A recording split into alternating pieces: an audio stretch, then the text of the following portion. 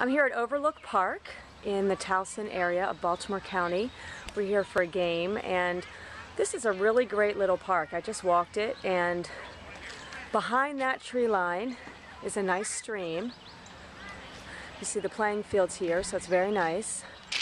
And then there's some sort of hockey rink there which is totally cool. Kids are playing soccer. And then if you go up this path it took me to a nice playground area. I'll try to get to that later for you. And just a nice little wooded walk on this May 1st day here in 2011. And here's the playground at Overlook Park. Really nice.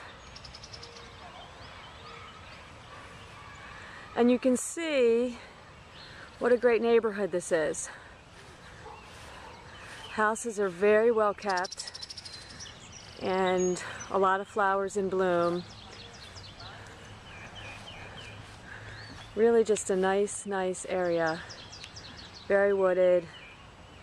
Inside the Beltway, close to downtown, but yet very quiet and serene.